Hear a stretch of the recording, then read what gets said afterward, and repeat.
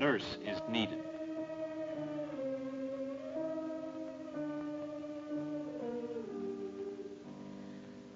In this modern workaday world, the need and the urgency of the need for qualified and competent nurses becomes more and more acute. The need of the woman and the boy is but a small cross-section of a vast panorama. It could all start here, the School of Nursing, where the first inquiries, the overture to a career, could start. The prelude to what may be an entire new way of life for you begins very simply in this office. Here, the prospective nurse is interviewed to determine the many things necessary to becoming a good nurse. Paramount among these things and congruent to the need for nurses is the desire for nursing. For the young woman must first want to be a nurse. She must have the ability to get along with others. Getting along with her fellow students can be the first step in getting along with a patient, perhaps a patient in suffering and it can be the first step in aiding to relieve that suffering. But now it's time to get acquainted with people and places, the people and places that in the next few years you'll come to know oh so well. These hallways and rooms, every stick of furniture in time will cease to be mere inanimate objects. They'll become close friends. And you find they're not the dull, drab cells you might have expected. On the contrary, this is just like home beautiful, isn't it?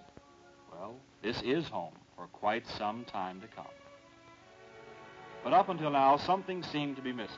And what was it? You couldn't put your finger on it till now. And that's it. The uniform. The dressing on the cake. Quite the young lady. And how well you look. However, all of these things you realize are the preliminaries. Now the real work begins the education in the finer points of becoming a nurse. Work, study, work, study, striving to attain the goal of perfection. Little things at first, little things that build to bigger things. Put this under your tongue, please. Hmm, this looks interesting.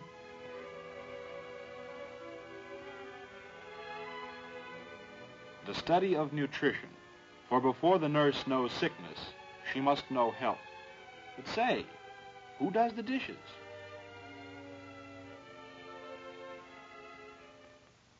Along with the physical side, must out of need come the moral side. For God can no more be separated from health and from healing than can a doctor from his medicine.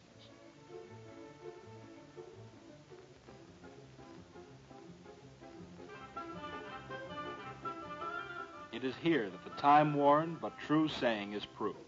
Experience is the best teacher. The experience of the graduate nurse passed on during an interesting session in the ever-present classroom. It's a 50-50 deal between instructor and student. Give and take. But which is which? Of necessity, the student nurse must do a certain amount of research on her own. For this purpose, a well-stocked library is always at her disposal. Pleasure and recreation play a vital role in the education of a nurse. The program must be well-rounded, and the lighter moments fit into the scheme of study. Music, games, or just plain sitting around, taking it easy. After all, nurses are human. Let's see, what'll it be? Beethoven, Bach, or uh, Boogie Woogie?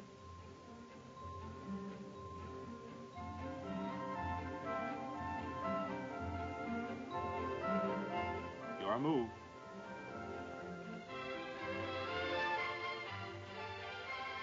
Did we say just like home a little while ago? Sure is. Say, what's on TV? Ah, the Society for the Preservation and Encouragement of Barbershop Quartet Singing in Nurses' Homes. Harmony, that all-important letter from home, or maybe just that all-important letter. Angels of Mercy with Appetites, and um, also a good time to catch up on all the latest hospital news. You don't say. Really? My.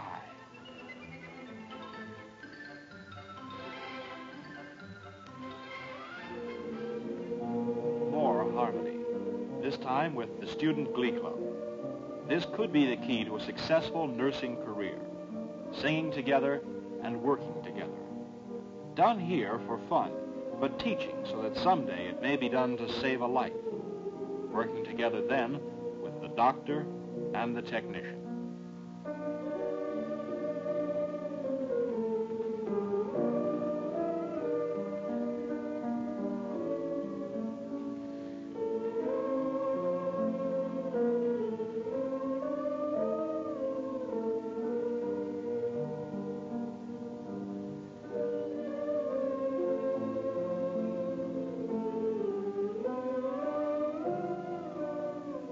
Throughout her education runs the central theme that to serve man and science, the nurse must first serve God.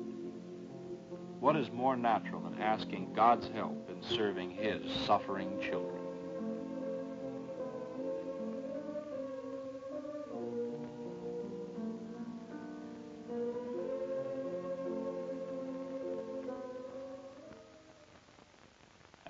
The months of intensive training begin to pay off. Little things again, before for practice, now for real. Slowly at first, and always under the watchful eye of a registered nurse, acting as the supervisor and the guide.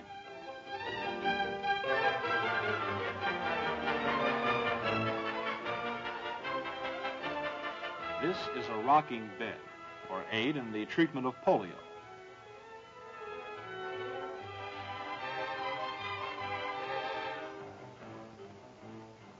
Now, other important things.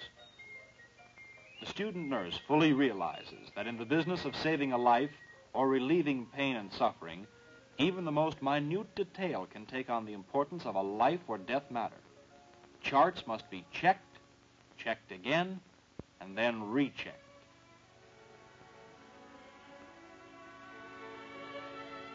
Another aspect of the constant education of the student nurse, preparing for OR, or in the language of the layman, the operating room.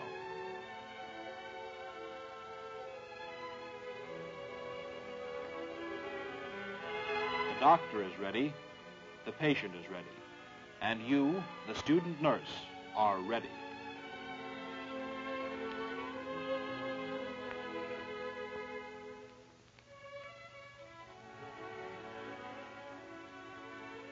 Of all things, this perhaps most is the picture derived from the word nurse.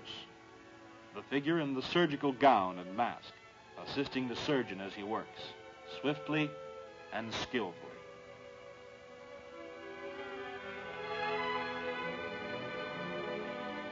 And now it's over. Another life saved. And you played a mighty important part on a mighty important team. And here's still another facet of nursing experience the mother instinct.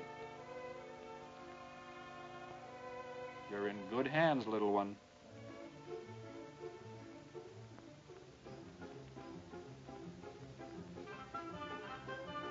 An accident, the ambulance and emergency, the need for quick, sure treatment, where seconds may mean an eternity.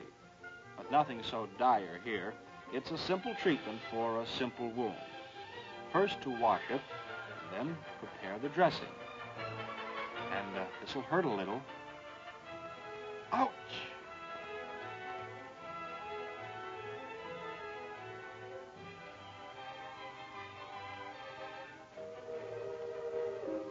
But in addition to duties, also rewards. This is the capping ceremony, one of the biggest days in the life of the student nurse almost bigger than graduation, for this is the first full sign of recognition. It is this beautiful and symbolic ceremony that conveys to the student that somehow it was all worth it, and that whatever comes in the future will be worth it.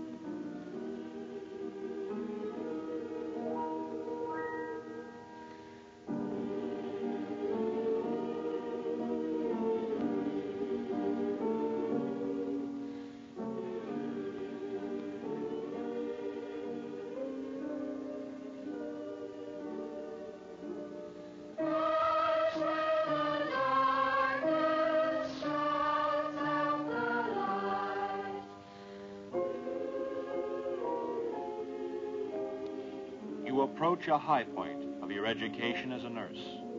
The white cap, time-honored mark of your profession, and the lighting of the candle, calling to mind the flame of Florence Nightingale, the lady with the lamp. And you, you are a modern day lady with the lamp.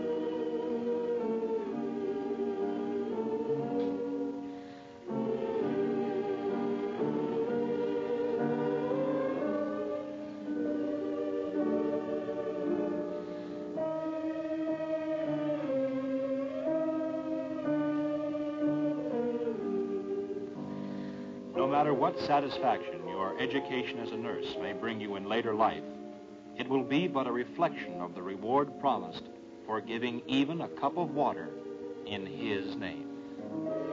Today's students, tomorrow's nurses. This is the Army in white serving the sick. But the Army is small. Nurses are needed to keep up with the constant demand created in the hospitals, the home, the industries, and government. If you can fill this need, nursing needs you.